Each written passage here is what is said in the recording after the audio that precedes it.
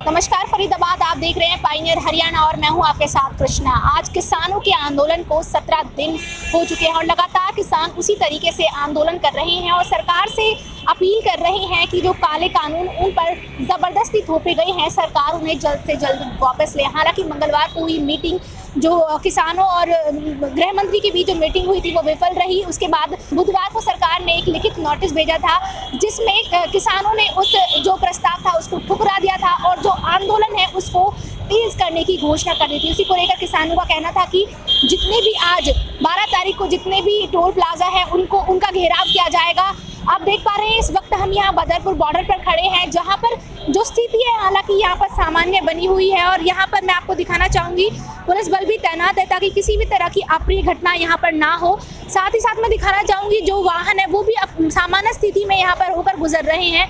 मैं इधर भी दिखाना चाहूँगी कि कोई भी स्थिति, कैसे भी हालात बनते हैं, उसी को लेकर यहाँ पर हर तरह के इंतज़ाम पुलिस प्रशासन द्वारा किए गए हैं। आप देख पा रहे हैं कि हालातों को सामान्य बनाने के लिए यहाँ पर आर्मी के जवान भी तैनात है और लगातार हर तरह की निगरानी यहाँ पर इस बॉर्डर पर की जा रही है।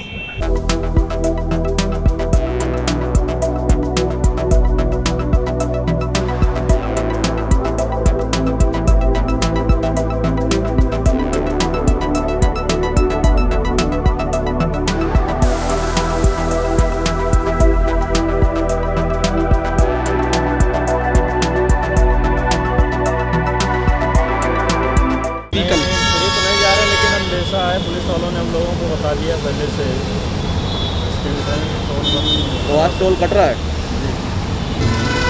नहीं अभी कोई वैसी तैयारी तो नहीं हम लोगों की तरफ़ से अलग से प्रशासन जो भी करेगा अपना प्रशासनिक कार्रवाई करेगी।